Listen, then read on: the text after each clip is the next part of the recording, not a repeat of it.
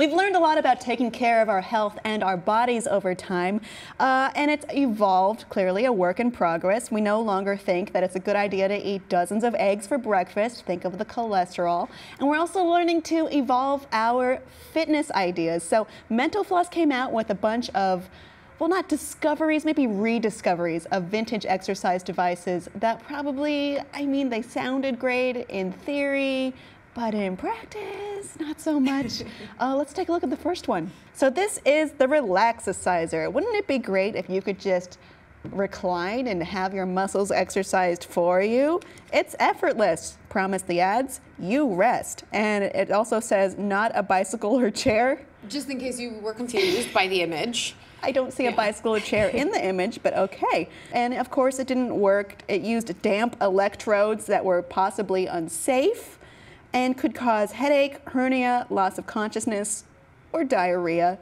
Um, and it was a, a, judge halted sales due to the unpredictable currents and yeah. unsafe nature. There was a permanent injunction on uh, this device, but before there was, there were over 400,000 units sold oh, and no. out in the public.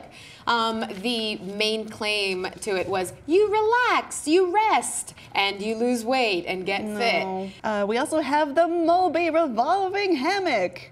It's like a Jacob's ladder, but for your head and feet to be locked. Oh no.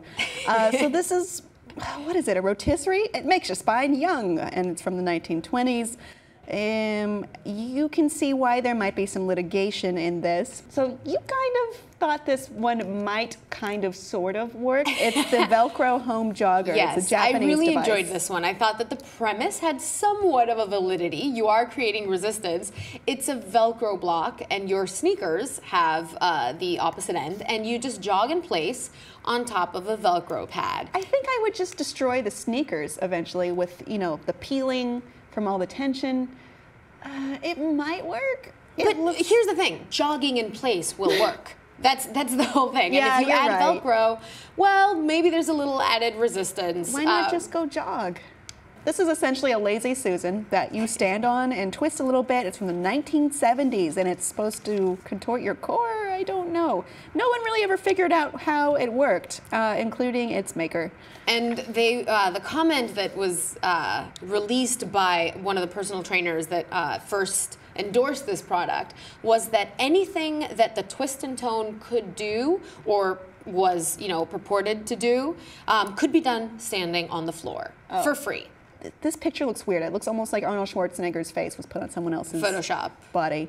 Uh, crappy Photoshop of the day, of the 1970s. So the, the idea here is to wear leather and lead bracelets that will turn, quote, every arm movement into an instant arm builder. And she'll love the look of your arm power. If your biceps didn't ooze 100% more power and look ferocious, this is the copy, it promised it, you could return them for a full refund of $14.99. They also may ooze due to lead. And next we have a fun video. Oh no. the old time gyroscope.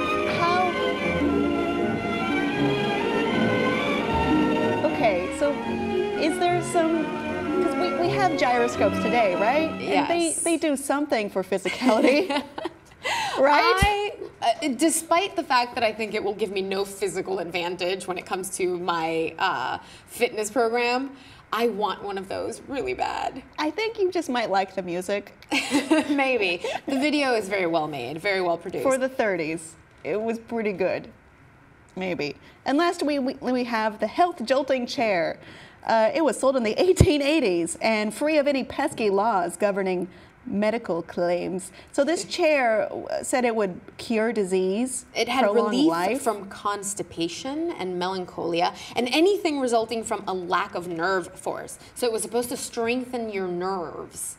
The idea was a gyration movement, so it was slightly pornographic in mm-hmm. a way. It, you know, it basically you just moved around, and that was supposed to alleviate your constipation and your sadness and all these, I guess, nerve issues. Well, okay, so we can agree that if all, if not most, most if not all of these things, probably don't work. Um, but they do have some similarities to some medical, or not medical, fitness devices on the market now. I think I've seen things before where you can attach something to your stomach to, uh, and you don't work and it, it works out your muscles for you. Yeah, the electrodes are still in fashion. Like people still believe they can sit down, eat whatever they want, rest, and still get a 12 pack. Uh, somehow, marketing and advertising has just gone that much further mm-hmm. in trying to convince people that this is a real possibility. Well, it's certainly been persistent in all this time. Exactly. selling well, the same idea that you you can you can lose weight this way. What will we think next century of all the things that we do now that we have now in our gyms or as home exercise equipment. I mean, have you seen those the ones where you're like rowing? I like the and rowing you're doing thing. like these weird bizarre you're crunching and those little ponies they had at Brookstone, which okay, are the ponies think, are weird. And I think they're the modern version of this health jolting chair because they, they're doing the same movement. But what will we think in the future of our own perception of what works when it comes to fitness and exercise and diet? I can hear future children laughing at us already. but I think as long as we have people who want an easy way out, we will have marketers exploiting that time after time again, uh, which is great. Let us know what you think below about these vintage exercise machines and what do you think will be the laughable exercise ideas of the future. Let us know below and please be sure to subscribe.